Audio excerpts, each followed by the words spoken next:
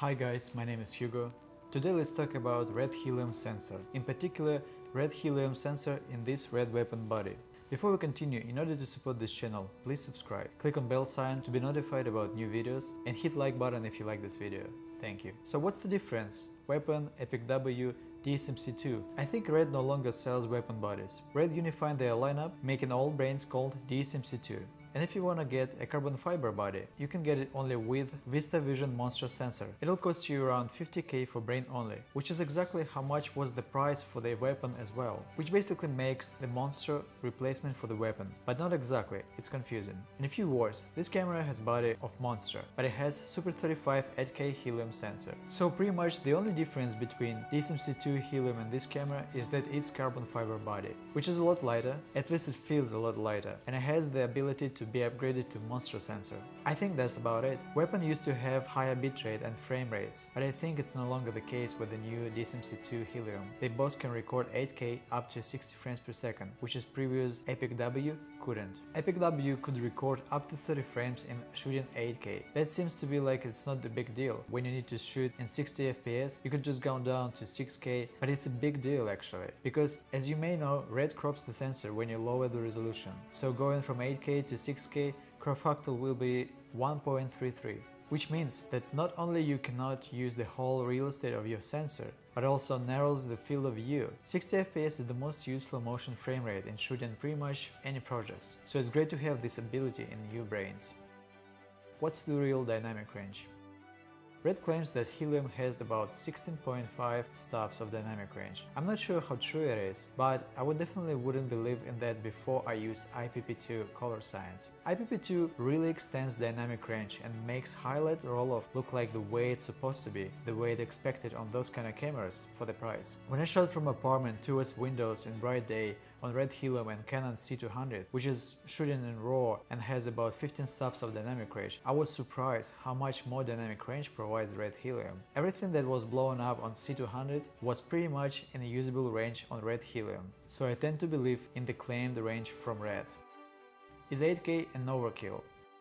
I used to believe so, but I no longer think so. The thing is, technology are improving so fast. Not long ago, everyone thought that having 6K in Red Epic Dragon was an overkill, but Check this out. Nowadays, many manufacturers make 6K cameras, so having an 8K sensor is a good investment since it will be a lot more future-proof. A couple more years and many cameras will have 8K sensors. And at some point soon enough, many TVs will become 8K and 8K will be a standard. But not even looking far forward today, 8K isn't actually as scary as it seems to be. I was afraid of the size and the workflow playback. So interesting fact, R3D file is such a great RAW container that on the same computer plays smoother than raw light from Canon C200. I have an iMac 27 of late uh, 2014. It's fully loaded, but still pretty old compared to newer models.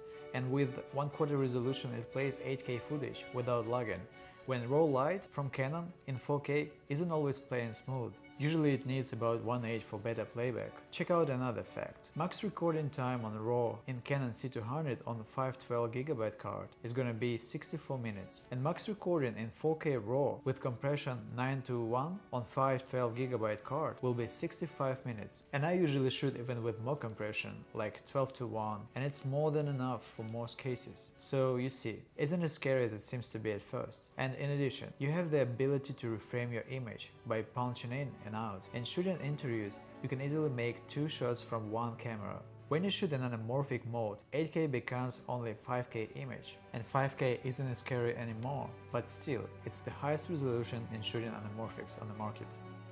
Is Red still a Hollywood camera, or ARRI fully replaced it?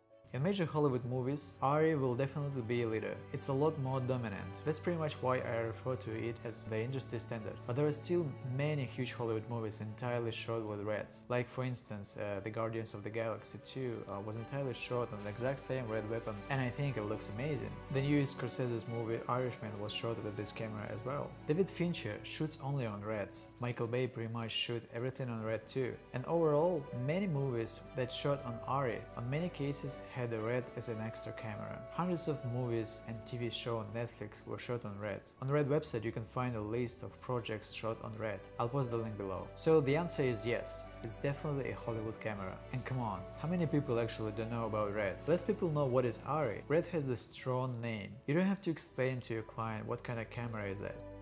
So is it worth the money?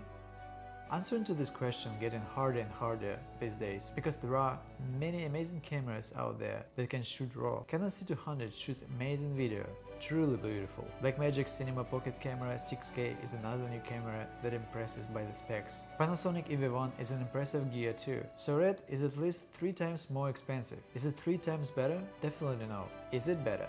Absolutely yes. There is some internal processing that actually makes the image more cinematic and pleasant to eye. Even noise looks like a grain. The colors are much more vivid and deep. No wonder it shoots 16-bit. 16-bit retains 16 times more red, greens and blue graduations as 12-bit RAW and 64 times as many tones per channel as 10-bit recording. It is more tonal values than the human eye can see. If I'm not mistaken, only ARRI and Red is capable of shooting 16-bit video. Maybe also some high-end Sony cameras with an external recorder. All other cameras are capable of shooting only up to 12-bit. So is it worth it? Well, that depends. It's not gonna make you a better cinematographer. Camera doesn't define your skill, it's just a tool. Camera won't set up lights for you, won't make a different composition or camera movement. That is what you do as a cinematographer. And you have to be able to do beautiful images even if you shoot on an iPhone. It'll definitely increase the quality, but not the skill. On the other hand, having a red camera will help you to reach wider range of clients, more exciting projects. Not necessarily making a lot more money, it's more like a branding tool as well. For some reason, being a red owner somehow makes you more respectable and skilled professional. Probably like uh, driving an expensive car. It doesn't have to mean anything, but psychologically, having an expensive car had to be achieved by something, probably by professionalism. That's why it makes sense to get a camera 3-4 times more expensive than affordable alternatives, even if some people can see a difference between images. It's a strong marketing tool.